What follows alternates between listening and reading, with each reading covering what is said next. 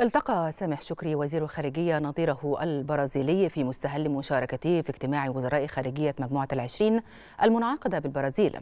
وأعلنت الخارجية أن هناك سعيا مشتركا نحو تعزيز ودعم العلاقات الثنائية والعمل على رفعها إلى مستوى الشراكة الاستراتيجية. وأكدت الوزارة أن المشاركة المصرية تأتي تلبية للدعوة التي وجهتها الرئاسة البرازيلية للمجموعة المصرية بهدف المشاركة في اجتماعاتها خلال العام الجاري وهي تعد المشاركة الرابعة لمصر.